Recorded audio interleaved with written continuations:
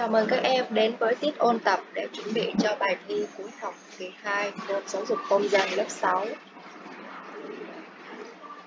Đầu tiên là về giới hạn ôn tập. Chúng Ta sẽ ôn 4 bài, bài 8 tiết kiệm, bài 9 công dân nước Cộng hòa xã hội chủ nghĩa Việt Nam, bài 10 quyền và nghĩa vụ cơ bản của công dân Việt Nam, bài 11 quyền cơ bản của trẻ em.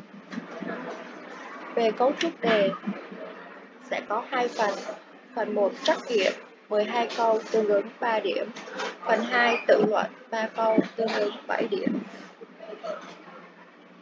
Đầu tiên chúng ta bước vào phần lý thuyết. Bài 8 tiết kiệm. Tiết kiệm là biết sử dụng một cách hợp lý tiền bạc, của cải, thời gian, sức lực của mình và của người khác. Người có lối sống tiết kiệm biểu hiện ở sự chi tiêu hợp lý, tắt các thiết bị điện, có vòi nước khi không sử dụng, sắp xếp thời gian làm việc khoa học, sử dụng hợp lý và khai thác hiệu quả nguồn tài nguyên, bảo quản đồ dùng học tập, lao động khi sử dụng, bảo vệ của công, vân vân. Lối sống tiết kiệm giúp chúng ta quý trọng kết quả lao động của bản thân mình và của người khác. Khi tiết kiệm, chúng ta có điều kiện để giúp đỡ, chia sẻ với những người có hoàn cảnh khó khăn hơn mình. Bài 9. Công dân nước Cộng hòa xã hội chủ nghĩa Việt Nam Chúng ta sẽ tìm hiểu công dân là gì, quốc tịch là gì. Công dân là một cá nhân hoặc một con người cụ thể mang quốc tịch của một quốc gia, có các quyền và nghĩa vụ theo quy định của pháp luật. Quốc tịch là căn cứ xác định công dân một nước. Như vậy, để biết mình là công dân nước nào, các em chỉ cần để ý tới quốc tịch mối quan hệ giữa nhà nước và công dân. Công dân có quyền và nghĩa vụ đối với nhà nước. Ngược lại, nhà nước sẽ bảo vệ và bảo đảm việc thực hiện quyền và nghĩa vụ của công dân theo quy định của pháp luật.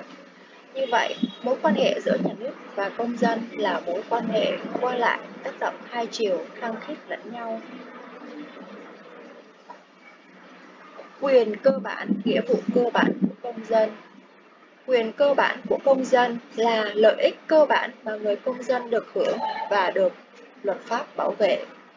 Nghĩa vụ cơ bản của công dân là yêu cầu bắt buộc của nhà nước mà công dân phải thực hiện nhằm đáp ứng lợi ích của nhà nước và xã hội theo quy định của pháp luật.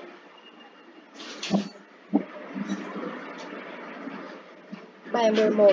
Quyền cơ bản của trẻ em Vậy thì quyền trẻ em là gì?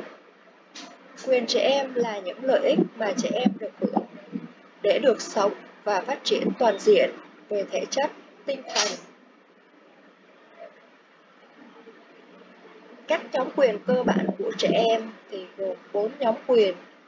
Nhóm quyền được sống còn, nhóm quyền được bảo vệ, nhóm quyền được phát triển, nhóm quyền được tham gia